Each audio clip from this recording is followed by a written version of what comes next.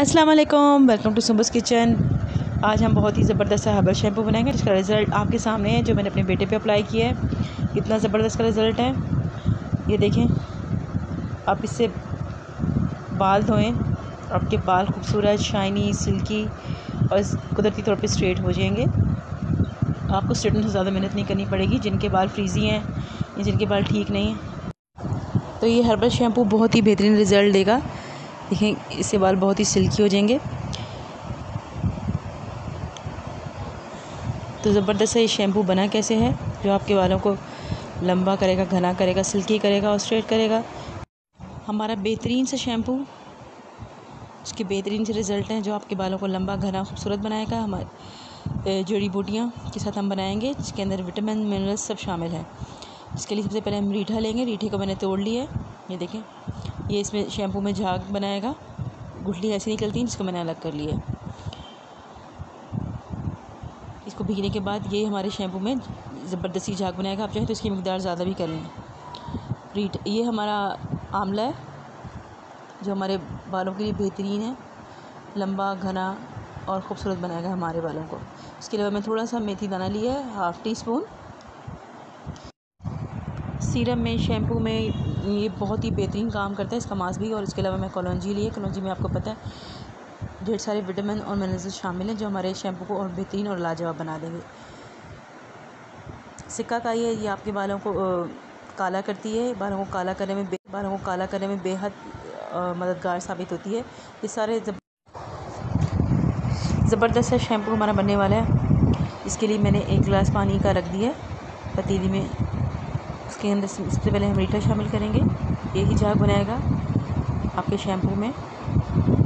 और शिक्काकाई कलौजी मेथी दाना और आमला खुश्क आमला हमने शामिल कर दिया। इसको हम हल्की आँच पे पकने देंगे।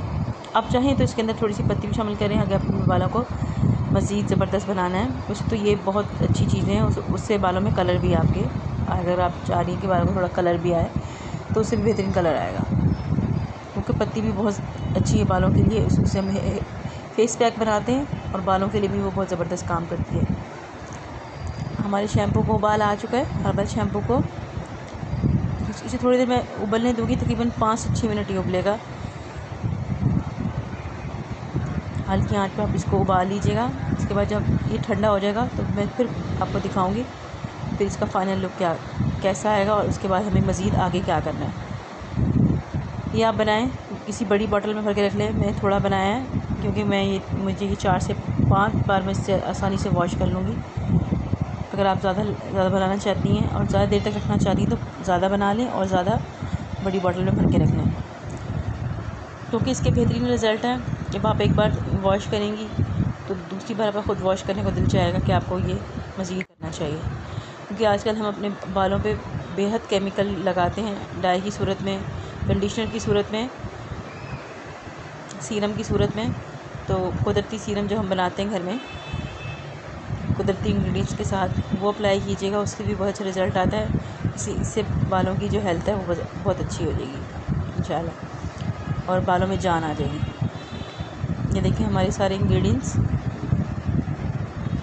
ये पकने के बाद बहुत नरम हो जाते हैं। अब जैसे ये ठंडा होता है तो मैं आपको दिखाती हूँ। हमारा शैम्पू ठंडा हो चुका है। अब इसमें मैं इस शैम्पू का एक एक से डेढ़ टेबल स्पून शामिल कर दूँगी इसके अंदर।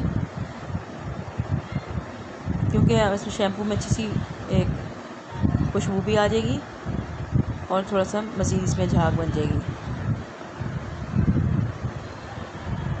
इसको अपने इसे मिक्स कर लेना है। ताकि बालों का जो अच्छा मैल कुचैल है, वो अच्छे से निकल आए। क्योंकि अगर आप खाली वैसे ही करेंगे तो थोड़ा आपको वॉश करने में टाइम लग जाएगा। हमारा शैम्पू ठंडा हो चुका है। अब इसमें मैं इस शैम्पू का एक एक से डेढ़ टेबल स्पून शामिल कर दूँगी इसके अंदर।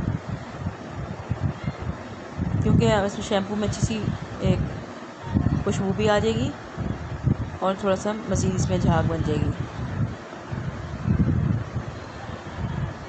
इसको अपने से मिक्स कर लेना है।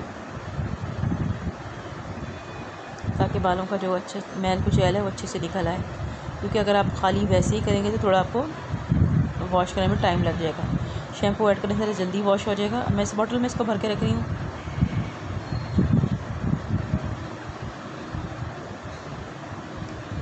इसमें झाग बना लिए ये देखें अच्छे से हमारा आप जब आपके बड़े बाल लंबे हैं या आप ज़्यादा यूज़ करना चाहिए तो आप एक और टेबल स्पून भी शामिल कर सकती हैं।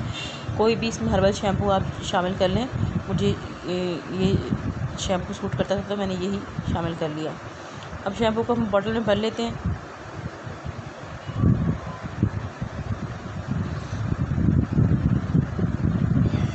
जब हम बालों को इग्नोर करते हैं तो उनकी हेल्थ ख़राब होती है। जितनी आप चीज़ को केयर केयर करेंगे, उतने ही ज़्यादा उसके अच्छे रिज़ल्ट आएँगे, चाहे वो बाल हो स्किन हो या आपकी हेल्थ हो। इसके साथ साथ आप, इसके साथ साथ आपने अपनी डाइट को भी डाइट का भी ख्याल रखना है और हमारा हर्बल शैम्पू रेडी है। और जो बाकी बच गया है, उसको मैं फ्रिज में रख दूँगी। जैसे ही रूम टेम्परेचर पे आएगा तो हम इसको यूज़ कर लेंगे। तो ये ख़राब नहीं होगा अब नहीं होता। लेकिन फिर भी आप इसको रख सकते हैं। मेरे शैम्पू की रेसिपी अच्छी लगी तो लाइक कीजिएगा कमेंट कीजिएगा शेयर कीजिएगा। Thanks for watching